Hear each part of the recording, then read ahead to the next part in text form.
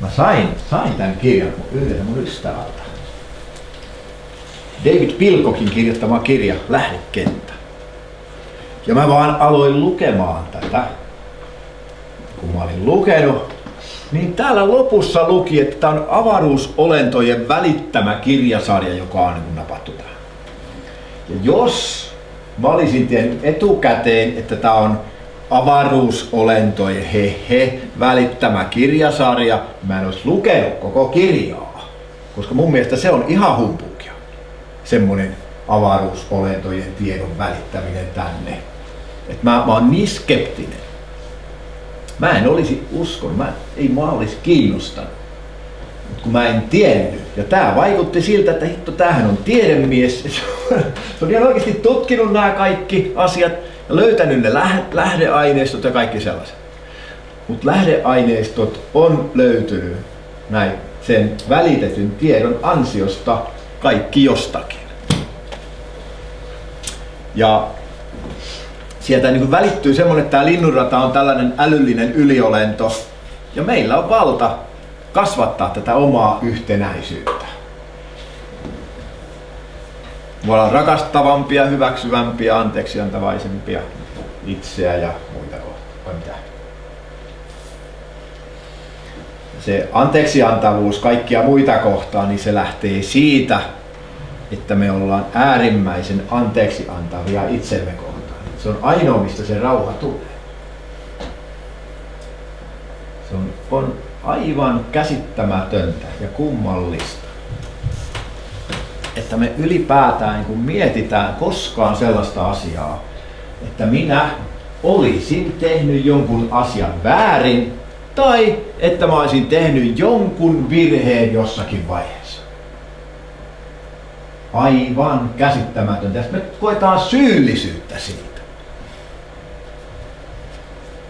Ja se on, se on meidän suurin synti. Me koetaan syyllisyyttä jostakin, mitä me on tehty. Koska se, mitä me tehdään, on täysin niin takuu varmasti tarkoituksellista. Se ei voi mennä mitenkään muuten. Ja se on aina oikein. Meistä tulee rakastavampia ja hyväksyvämpiä vasta sitten, kun mä en enää syytä itseeni yhtään mistä. Että mä tiedän, mä oon varma. Varma jo ottaessani askeleen, että tää on aina ehdottomasti oikea askel, jonka mä otan nyt. Oikea teko, jonka mä teen nyt. Mikään ei harhauta mua siltä polulta. Kun mä tiedän sen, multa häipyy täysin se tarve syyttää ketään yhtään mistä. Mutta vastasin. Niin meidän on löydettävä anteeksi anto itselle. Mä toivotan kaikille tosi paljon menestystä siinä, siinä työssä. Ja, ja to, toivon, että se on yksi asia, joka täältä muistetaan ja täältä lähtiessä muistetaan, että, että kun mä sen teen, niin ensinnäkin siitä seuraa se, että sen jälkeen minä olen enkeli kaikille kohtaamille ihmisille.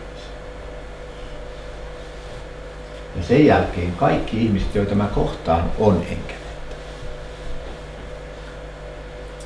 Että niin suuri, valtavan suuri merkitys on sillä, kun se paha olo tulee siitä, että mulla on jotenkin se semmoinen käsitys, että minä olen tehnyt jotain toi, tässä lukee 20, pitäisi olla 26 000 vuoden sykli, se vaan luo biologista ja henkistä evoluutiota äkillisin hyppäyksin ja nyt se tuo tänne meille tämän uudenlaisen tietoisuuden, tämmöisen kvanttimuutoksen ja se, sitä, niin kuin on sanottu sitä, että ihminen tällä hetkellä käy läpi todella suurta evoluutiomuutosta omassa, omassa itsessään ja se tapahtuu meidän DNA, DNAssa.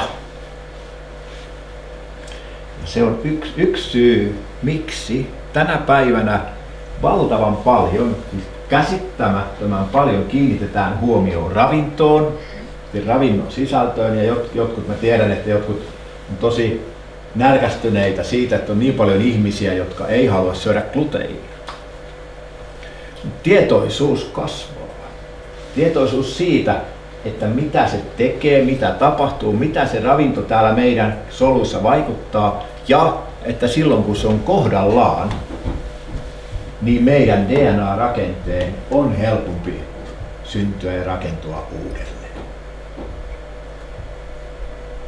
Se on, se on ihan hurja puumi. Ihmiset haluaa voida paremmin. Eikä se ei ole pelkästään fyysinen juttu. Se on psyykkinen. Et samalla kun meidän solut voi paremmin, niin me voidaan muutenkin paljon paremmin. Ja siksi niihin asioihin kannattaa, niihinkin asioihin kannattaa kiinnittää huomiota. Yes.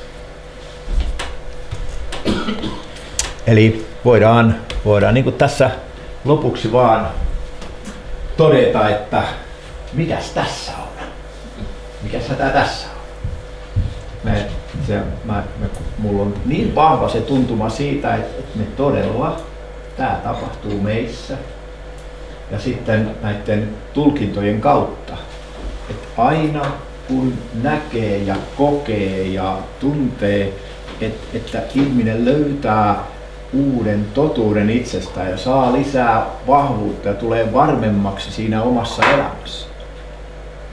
Tuntuu valtavan hieno. Ja se on silmin nähden todettavissa ja koettavissa ja nähtävissä. Ja sitten siitä saa myöskin palautetta, että miten elämä on voinut muuttua tietyistä oivalluksista. Se oivallus on aina sama aina täsmälleen sama, täysin riippumatta siitä, että minkälainen tämä kartta on. Joka ainoalla on eri näköinen kartta.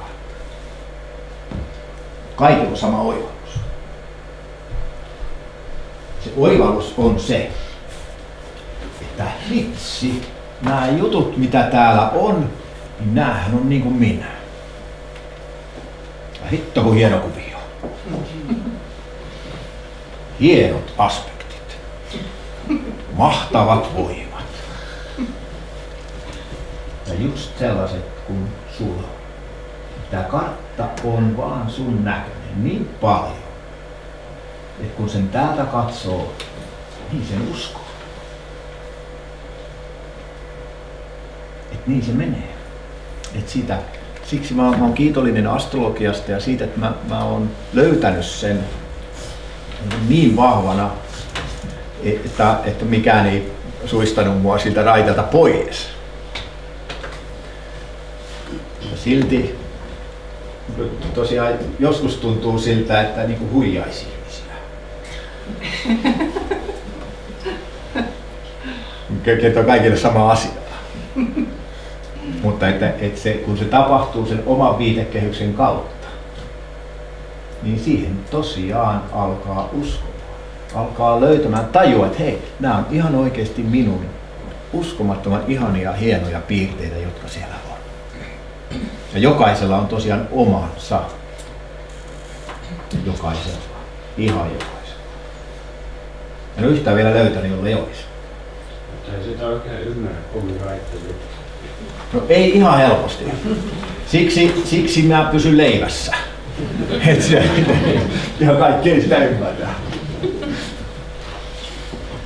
Mutta joo, näiltä osin virallinen osuus on päättynyt. Tuhannesti kiitoksia kaikille ja avataan tämmöinen epävirallisempi osuus tästä. Kiitos.